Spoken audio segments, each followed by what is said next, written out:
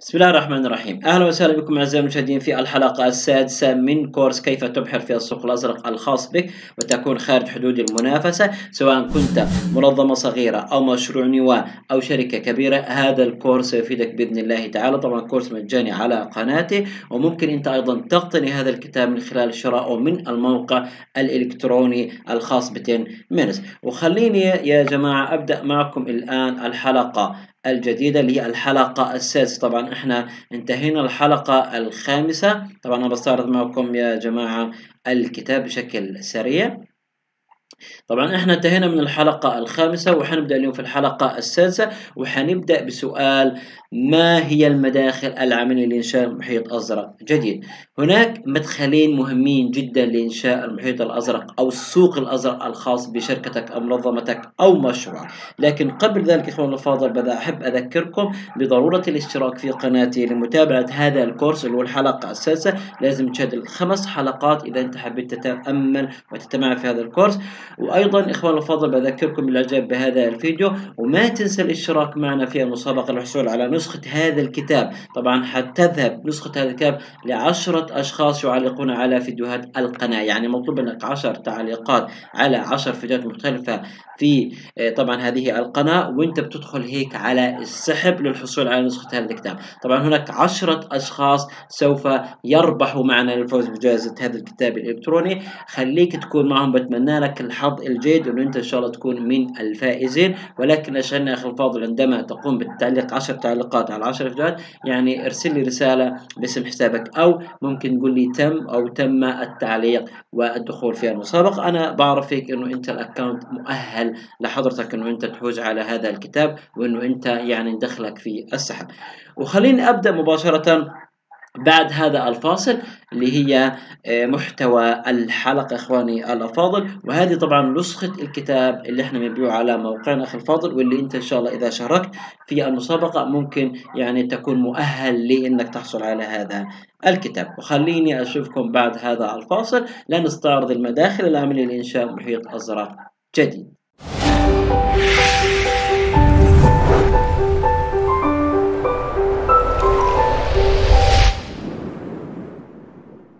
أهلا بكم اعزائي المشاهدين من جديد. وبعتقد إنه أنت الآن أصبحت مشترك في قناتي وبتتابع الكورسات المجانية وإن شاء الله تستفيد من هذه القناة. لكن ما تنسى إنك تشارك القناة لغيرك ولأصدقائك ولأصحابك عشان ننشر العلم والقيمة والمعرفة. وهذا يا جماعة أقل دعم لي لنكبر من المشتركين ونكبر من القناة.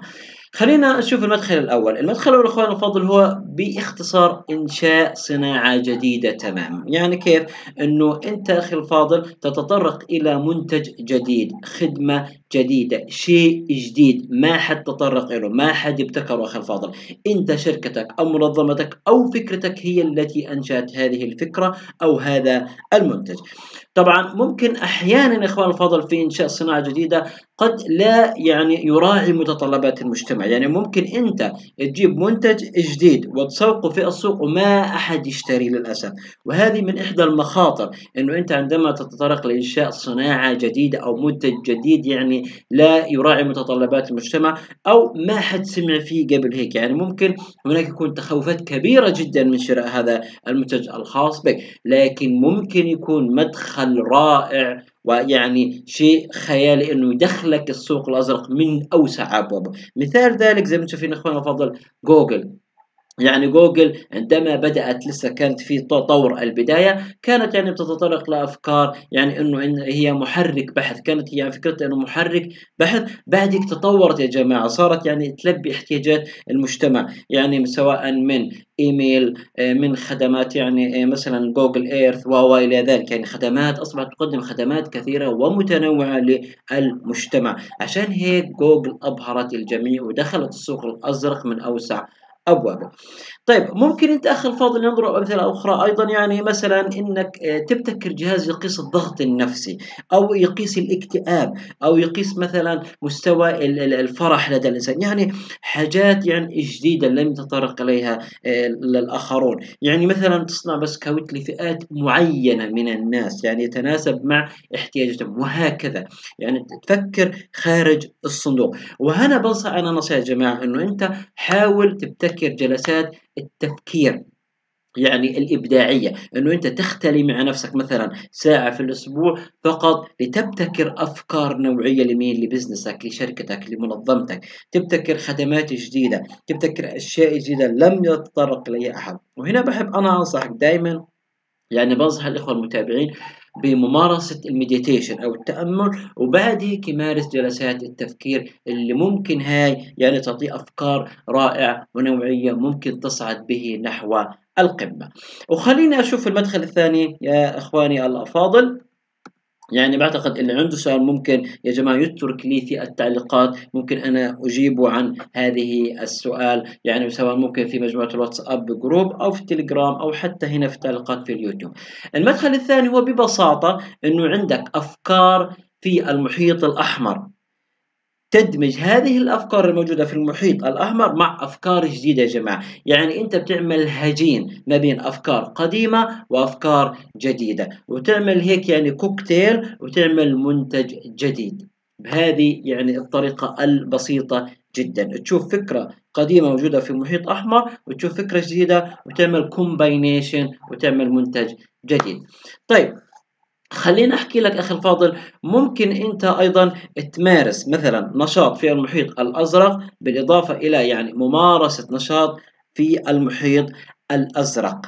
طيب من هذا الكلام كان يمارس اخواننا الافاضل مثال ذلك شركة أبل وسامسونج. هذول يا جماعة مثلا عندما ابتكروا الآيفون في العام 2007 هما أنشأوا مساحة جديدة من السوق أو دخلوا السوق الأزرق. بعد ذلك أصبح الأبل أو الآيفون شركة أبل بالآيفون الجديد أصبح في السوق الأحمر. ليش؟ لأنه أصبح منتج قديم. وفي شركات منافسة أيضا ابتكرت مثلا منتج زي سامسونج ابتكرت منتجات مماثلة. عشان هيك صار في صراع في تنافس يبقى أنا اليوم لازم أشوف سوق جديد أو سوق أزرق عشان أنا أقدر أهرب فيه من المنافسة. وخلينا نتأمل إخواني الفاضل الآيفون 2007 والآيفون اس اي 2020 حتلاقي هنا فرق واضح وشاسع ما بين المنتج القديم والمنتج الجديد. يعني المنتج الجديد بنحكي آيفون إس إي 2020 هذا أدخل أبل في السوق الأزرق بينما الايفون 2007 عندما كان هذا المنتج في طور الإنتاج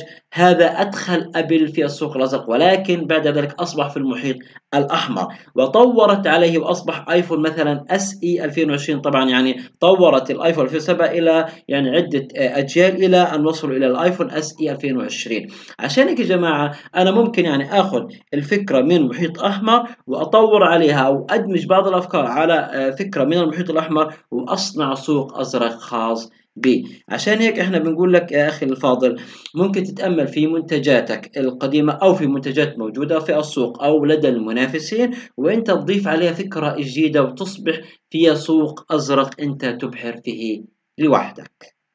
إذا باختصار إخواني الأفاضل إذا أنت أردت دخول سوق جديدة أو إنشاء محيط أزرق خاص بك عليك التفكير بمنتج جديد تماما. هذا هو المدخل الأول.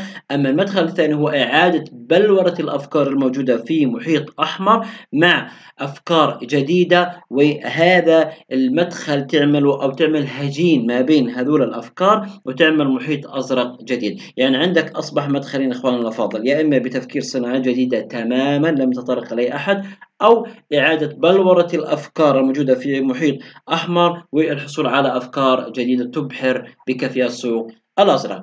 وبنصحك في نهاية الحلقة أخي الفاضل لو كنت أنت صاحب مشروع أو صاحب بزنس فكر في القيمة اللي أنت بتقدمها. فكر بالخصائص الخاصة بمين؟ بمنتجاتك. فكر بإعادة تشكيلها. وانظر إلى العينات أو الرموز التنافسية الخاصة بالشركات المنافسة وحاول أنه أنت أخي الفاضل يعني تعمل collection ما بين آه، العوامل التنافسية لدى المنافسين والخصائص اللي بتميز منتجك وأنه أنت تعمل combination أو هجين ما بين هذه العوامل التنافسية وتعيد ترتيبها بحيث أنه أنت تحصل على منتج جديد بمواصفات جديدة بسوق أزرق جديد. وهذا هو يعني المنفذ أو المهرب عشان أنه أنت تهرب اللي هو بمنتجك بعيدا عن المنافسة والشركات المنافسة والتناحر اللي بيصير يوميا من أجل إخراج الشركات بعضها على بعض من السوق وهذه هي أفضل وسيلة يا جماعة إنه أنت يعني آه، ترقى بالبزنس الخاص بك أو بمنتجاتك من أجل الانفلات أو الانعتاق من المنافسة الشرسة. طبعا حنستعرض معكم أعزائي المشاهدين الحالات العملية اللي هي إعادة ترتيب العوامل التنافسية الخاصة بالشركات المنافسة وأوجدت لها منحنى قيمة رائع بمنتج جديد وبدخول للسوق الأزرق من أوسع أبوابه. وعشان هيك إحنا بنقول لك لازم الحلقة القادمة تتعرف معنا على محددات هذه الاستراتيجية اللي بتضمن لك إنه أنت تنجح في دخول محيط أزرق جديد وإنه أنت تنتبه لهذه المحددات. وهيك أنا تقريبا انتهيت من حلقتي لهذا اليوم. حلقة قصيرة وخفيفة وإن شاء الله تكون استفدت منها أخي الفاضل واستمتعت بمشاهدة يعني حلقات هذا الكورس. أحب أذكركم أعزائي المشاهدين أنه ما تنسوا تعملوا الاشتراك وتعجبوا بهذا الفيديو. هذا يعني أقل دعم لي وأنه أنت تشارك هذه القناة لغيرك من الناس لأصحابك والأصدقاء ليستفيدوا من هذا المحتوى العلمي الموجود في هذه القناة. وخليني أذكرك أيضا بالمسابقة اللي أنت لازم تشترك فيها وتعلق على عشر فيديوهات عشان ترشح اسمك أنه أنت تحصل على جائزة هذا الكتاب اللي إحنا بنشرح فيه واللي إحنا بنبيعه على موقعنا الإلكتروني ب 2 دولار و70 سنت. إن شاء الله من تشاهدني أنه أنت تكسب هذا الكتاب وتشارك معنا في المسابقة وتكسب هذه الجائزة. طبعا في نهاية حديثي أنا يعني أختم قبل قول الله عز وجل ربنا عليك توكلنا وعليك نبنا وإليك المصير. وبشوفكم في فيديو جديد. والسلام عليكم ورحمة الله وبركاته.